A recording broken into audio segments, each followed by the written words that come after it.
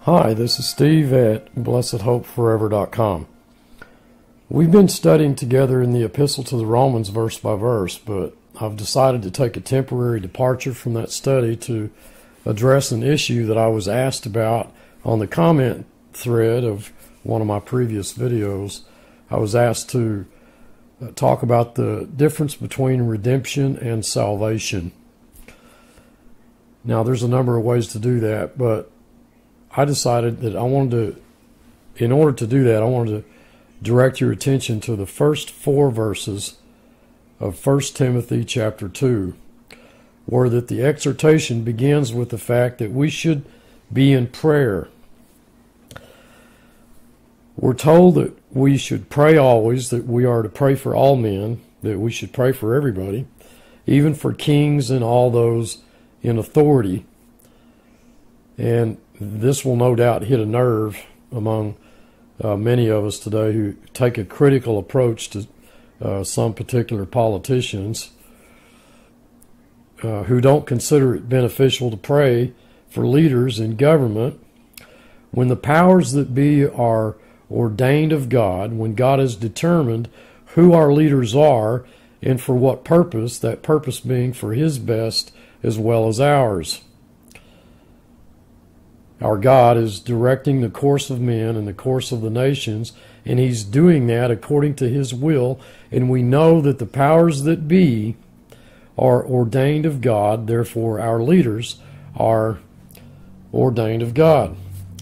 And to suggest that we speak in disparaging terms and, and we, we refuse to pray for them is, well, it, it's tantamount to saying we disagree with those whom God has put in office, those that He's put in charge.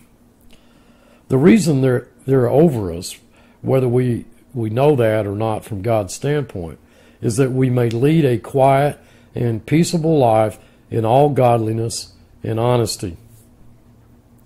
Contrary to popular opinion, it isn't a Christian who ought to be organizing a, an overthrow of the government. Daniel was taken captive, you know, by the Babylonians, and he served faithfully uh, in the Babylonian government. The Persians came in and took the city, and Daniel became a faithful servant in the Persian gov- government. It, it wasn't his job, wasn't Daniel's job to decide who was in authority or whether they should be there or not. It was Daniel's job to serve the Lord. We are ambassadors for Christ. We're to pray for the leaders that God has put in office, and our prayer is to be such that we may lead a peaceable, quiet life with respect to the government. The very government that Paul prayed for was part of the state authorities that put him in prison and eventually beheaded him. But he didn't speak against the government, for those were God's men carrying out God's will. It was God's men who beheaded Paul. It was the government that God had ordained that put him to death. God has told us that praying for those in authority leads to our living a quiet, peaceful life in godliness and honesty. And this is good and pleasing in the sight of God our Savior, God our Savior, who desires all men to be saved and to come to the knowledge of the truth. Now listen carefully. Regeneration has to do with dead creatures. Salvation, rescue, deliverance has to do with living creatures. God's people are dead and they need to be regenerated. They need to be born again. They died in Adam and then they died in their own sin. And, I, and I've spent some time discussing that in in detail in past videos, but that's not the focus of this teaching. The the fact is God's people need to be regenerated.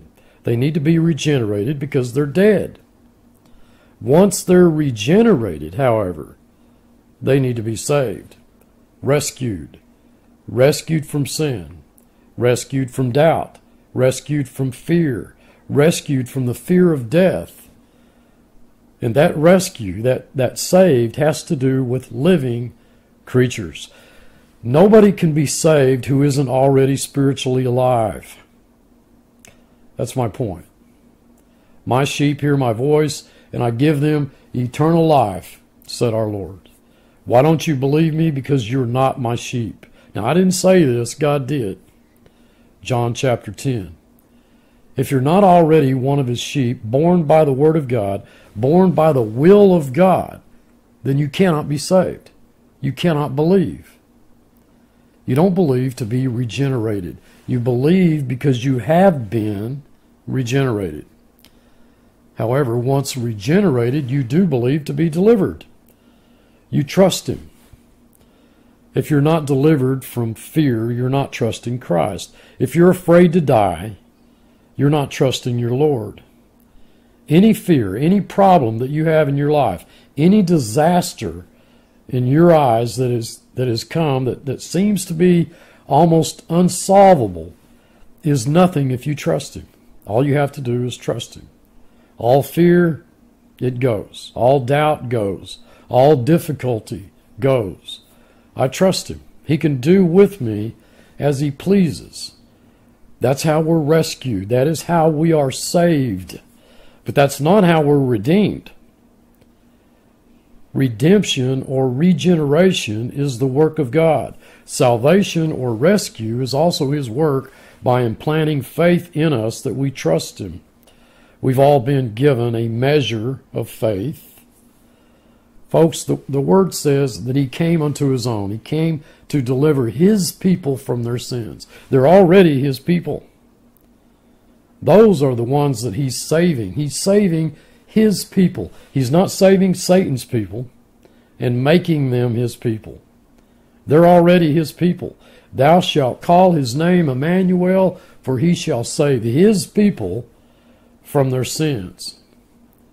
They are regenerated. They are his people. He did that.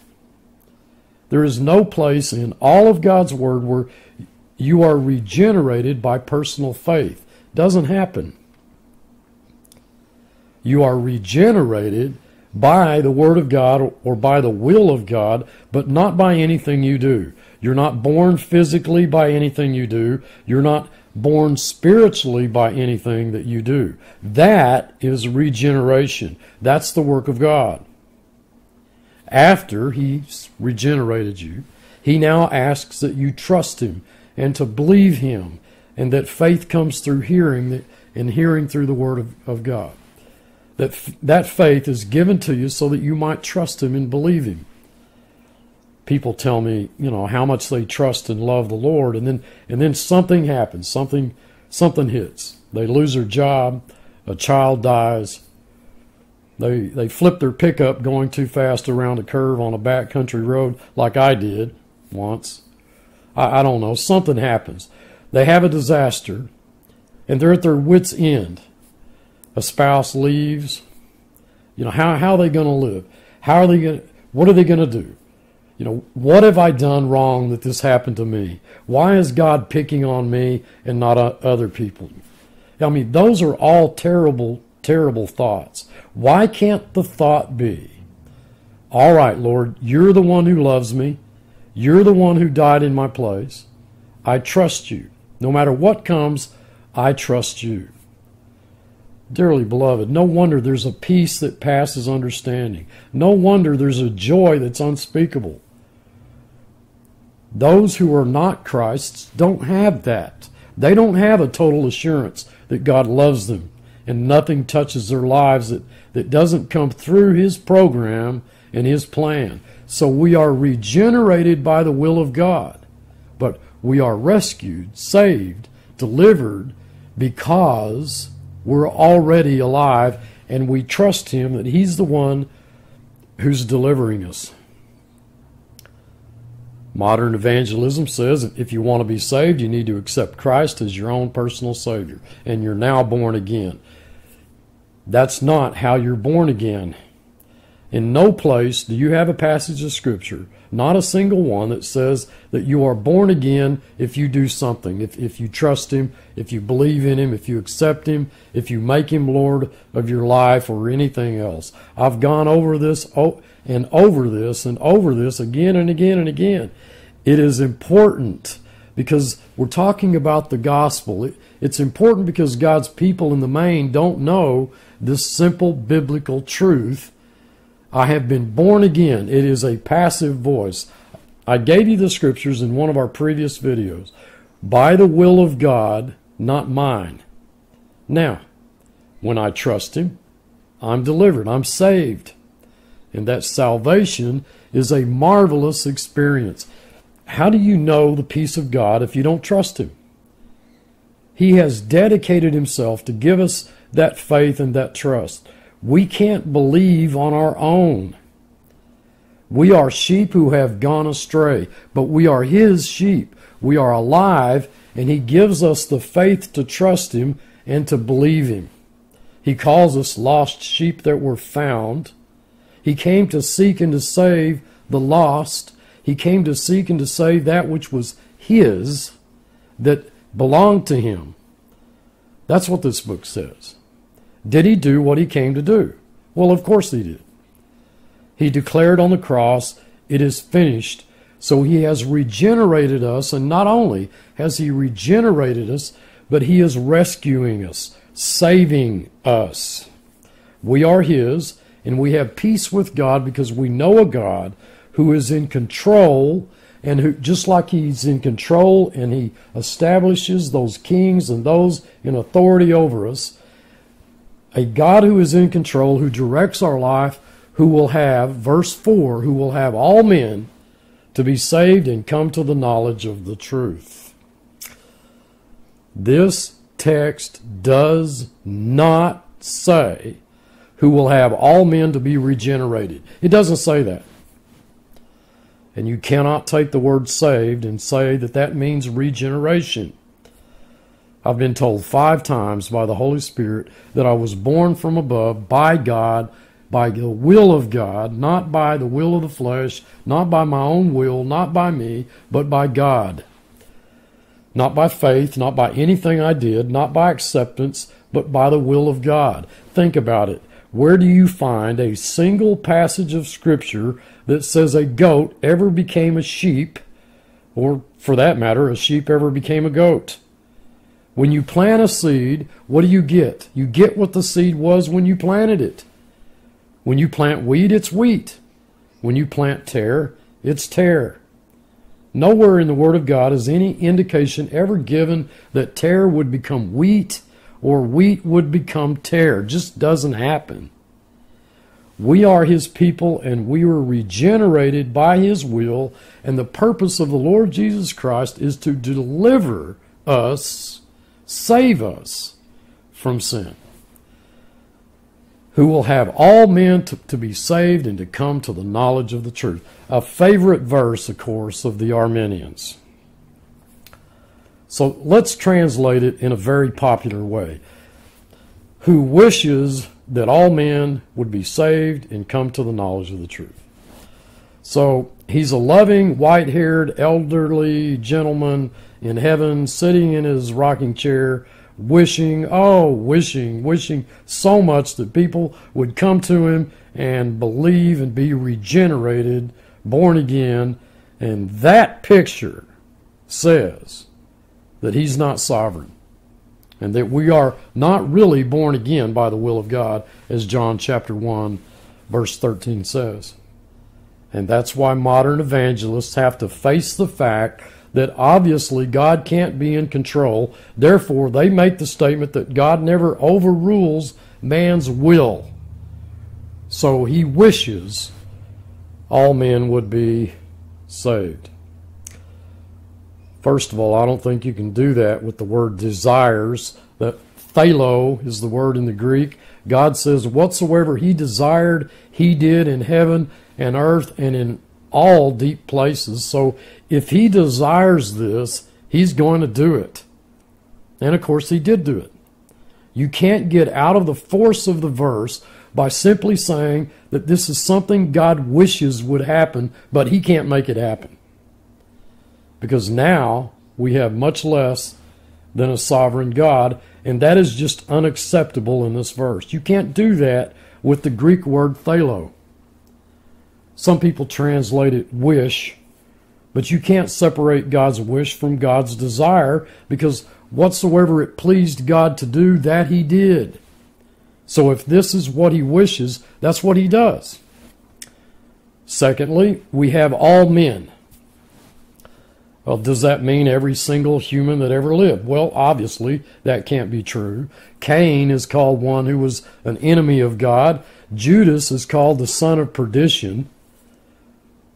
Jezebel is called one who was against God more than any human who ever lived.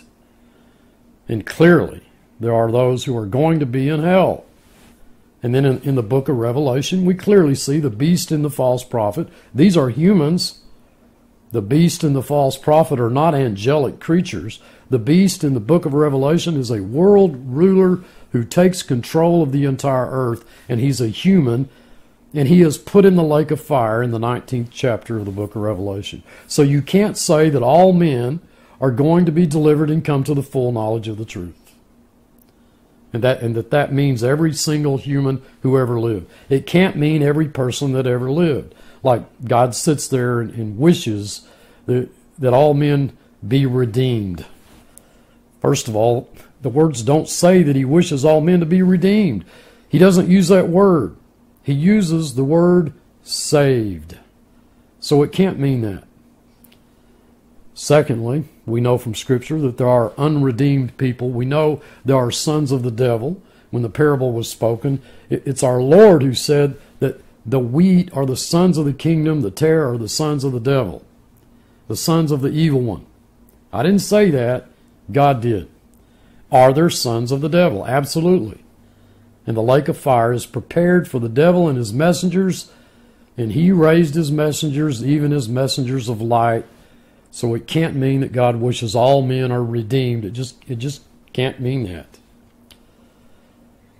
God desires that all men be saved, and the meaning of this word all has to be determined by the context, folks.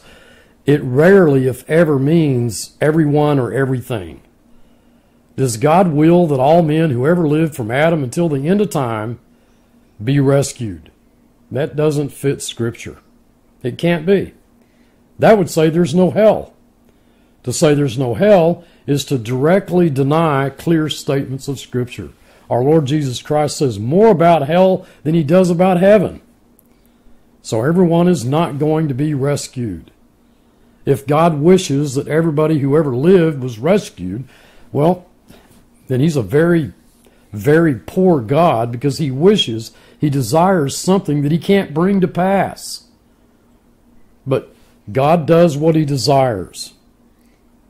What is will? If you go to a dictionary, you'll find you'll find out that a synonym of will is desire. To say God wills is to say God desires that all men be saved. And to say that God desires that all men be saved is to say that he will save them. So if we say that all men here means everybody who's ever lived, well, we got a huge problem we have to assume that there's no hell and that the scriptures that deal with hell are, are not true, and, and I can't do that. In Ephesians, we have a passage of scripture that says, In whom we have obtained an inheritance, being predestinated according to the purpose of Him who works all things after the counsel of His own will and we just read, God wills that all men be saved. If He works all things after the counsel of His own will, is this one thing He isn't going to work? You can't have that contradiction. Please, dearly beloved, don't come to a meaning that contradicts other scriptures. We also are told that no man can come unto me except to be given him of the Father.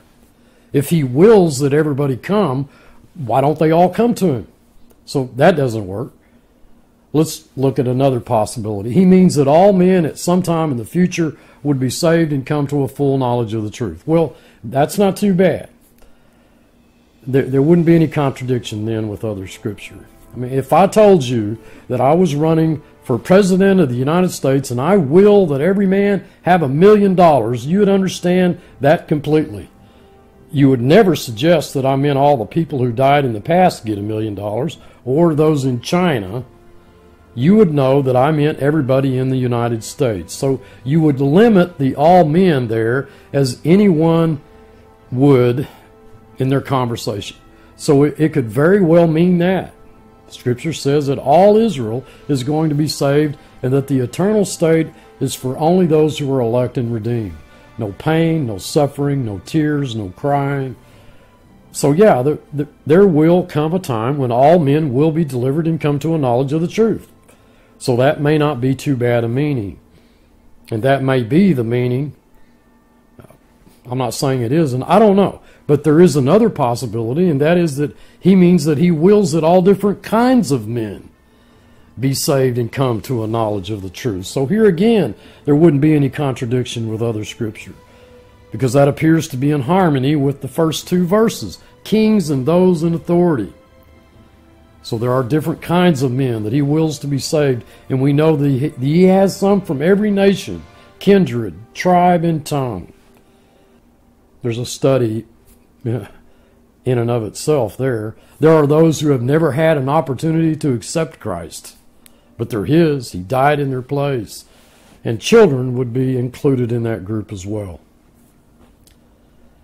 So it's possible to take all men as not all men without exception, but all men of distinction, men of different nations, different places of authority, all kinds of men. So that also works. I think it's sort of up to you whether you think he's speaking futuristically, that that it's God's purpose that in the future all men will be delivered, rescued, and come to the knowledge of the truth, because that's absolutely certain.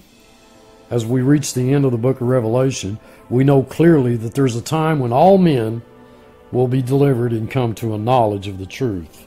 Not all men who lived, but all men at that time.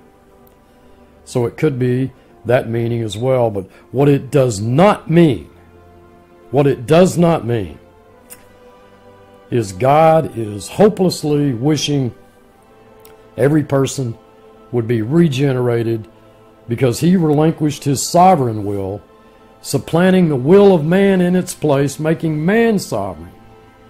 That is what the verse does not mean. What cannot work is the Arminian approach that God sits up there and wishes that all men would come to him and be regenerated, to be redeemed. That one cannot work. It is anti biblical and it, it absolutely blasphemes the character of the sovereign God who redeems his people and rescues his people from the devastating effects of Adam's fall. I love you all. I truly do. This is Steve. Thanks for watching.